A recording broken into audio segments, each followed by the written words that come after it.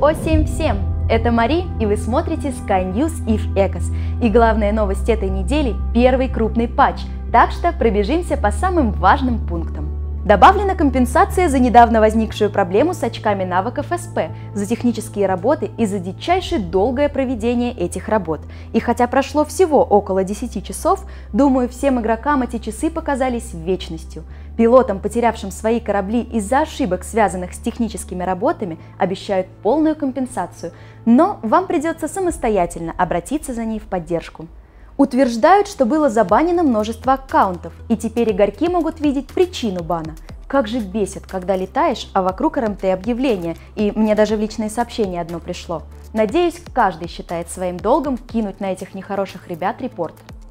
Улучшили описание чипов, ракет и, главное, починили баг с активными модулями защиты, о котором на стриме говорил всем известный Бист – кстати, мы бы хотели взять у него интервью, и если вы тоже, пишите нам в комментарии. Самые лучшие вопросы мы обязательно зададим. Убрана комиссия брокера за торговлю плексом. На момент запуска видео один плекс торгуется на отметке 55 тысяч исков. Говорят, надо брать.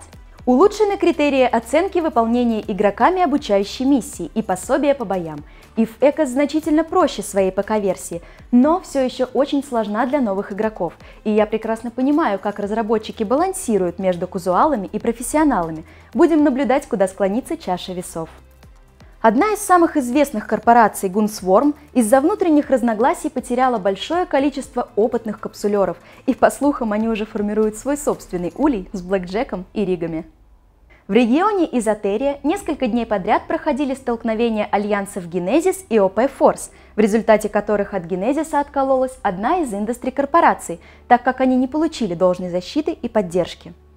На данный момент в игре более 15 альянсов и 5 крупных объединений, которые со временем могут ими стать.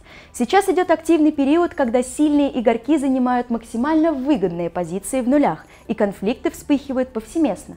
Мы будем следить за важнейшими событиями и призываем вас делиться с нами информацией о больших сражениях за территорию. Самые интересные факты попадут в выпуске Sky News. Переходим к новостям экономики.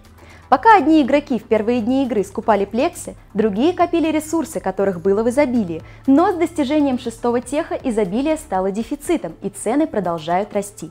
Также сильно возрастает цена на Т-2 Варстап Риги и рапидные ракетницы, самые популярные предметы для сохранения и уничтожения кораблей в игре.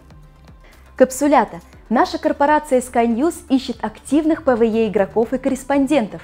И если вам интересно не только быть в курсе самых интересных новостей, но и создавать их, приглашаем вас к сотрудничеству. Все ссылки будут в описании. Fly safe!